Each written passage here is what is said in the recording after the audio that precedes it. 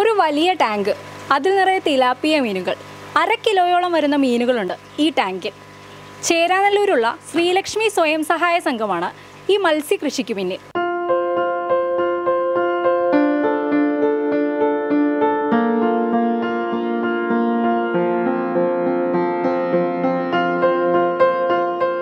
Israel China Vietnam Taiwan തുടങ്ങിയ രാജ്യങ്ങളിൽ ഏറെ വർഷങ്ങൾക്ക് മുൻപേ പ്രചാരത്തിലുള്ള മത്സ്യകൃഷി രീതിയാണ് ബയോഫ്ലോക് ടെക്നോളജി. എന്നാൽ കേരളത്തിൽ ഈ രീതി പ്രചാരത്തിൽ വന്നിട്ട് അധികം നാളുകളായിട്ടില്ല. വേസ്റ്റ് വാട്ടർ റിക്ലമേഷൻ എന്ന സാങ്കേതിക വിദ്യയാണ് ഇവിടെ പ്രയോജനപ്പെടുത്തുന്നത്. അതായത് ഒരു തവണ കുളത്തിലേക്ക് ഒഴിച്ച വെള്ളം വിളവെടുപ്പ് വരെ മാറ്റാതെ റീസർക്കുലേറ്റ് ചെയ്തും എയറേഷൻ നൽകിയും ടാങ്കിൽ തന്നെ നിലനിർത്തുന്നു. ഈ രീതിയിൽ മീനുകൾക്കൊപ്പം സൂക്ഷ്മാണുക്കളെയും വളർത്തുന്നു. മീനുകളുടെ വിസർജ്യത്തിൽ നിന്നും ഉണ്ടാകുന്ന അജൈവ നൈട്രജനെ കാർബൺ അടങ്ങിയ വസ്തുക്കൾ ചേർത്ത് ഹെട്രോട്രോപിക് ബാക്ടീരിയകളുടെ സഹായത്താൽ മൈക്രോബിയൽ പ്രോട്ടീൻ ആക്കുന്നു. ഈ പ്രോട്ടീൻ മീനുകൾക്ക് ഭക്ഷണമായി മാറുന്നു. അതുകൊണ്ട് തന്നെ മീനുകൾക്ക് നൽകുന്ന തീറ്റയുടെ അളവും താരതമ്യേന കുറവാണ്.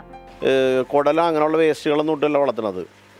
ഫിഷ് ഫുഡ് തന്നെ കൊടുത്താണ് വളർത്തുന്നത്. പിന്നെ ഞങ്ങൾ അത്യാവശ്യം വീട്ടിലൊക്കെ ഉപയോഗിച്ച് നോക്കിയിട്ടും അയൽവക്കത്തൊക്കെ കൊടുത്തിട്ടും നല്ല ടേസ്റ്റാണെന്നാണ് പറയുന്നത്. ഇത് നമ്മുടെ ഒരു പ്രതീക്ഷ ഒരു രണ്ട് ലക്ഷം രൂപ വരെയും വരുമാനം ഉണ്ടാകുന്നതാണ് പ്രതീക്ഷ.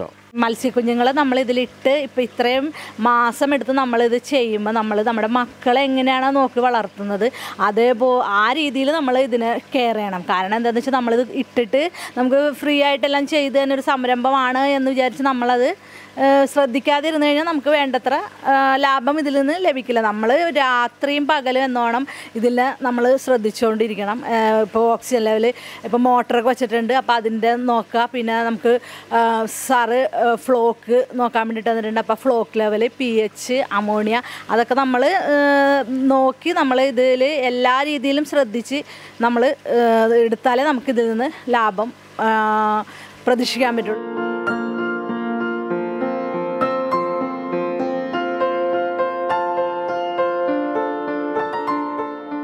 ഉയർന്ന അളവിൽ മീൻകുഞ്ഞുങ്ങളെ നിക്ഷേപിച്ച് മീനുകൾക്ക് ഗുണകരമായ രീതിയിൽ മികച്ച ഇനം ബാക്ടീരിയകളെ ഉപയോഗപ്പെടുത്തി നിയന്ത്രിത സാഹചര്യത്തിലുള്ള കൃഷിരീതിയാണിത്. ചിലവ് കുറഞ്ഞതും നൂതനവും പരിസ്ഥിതിയുമായി ഇണങ്ങിയതുമായ കൃഷിരീതിയാണ് ബയോഫ്ലോക്ക് ടാങ്കിൽ വളരെ കുറച്ചു മാത്രമാണ് മാലിന്യം ഉണ്ടാകുന്നത് ഇത് അടിഭാഗത്ത് സ്ഥാപിച്ച വാൽവ് വഴി പുറത്തേക്ക് എത്തിക്കാം ഈ വേസ്റ്റ് മികച്ചൊരു വളമാണ്. ഏതുതരം കൃഷിക്കും ഇത് ഉപയോഗിക്കാനാകും.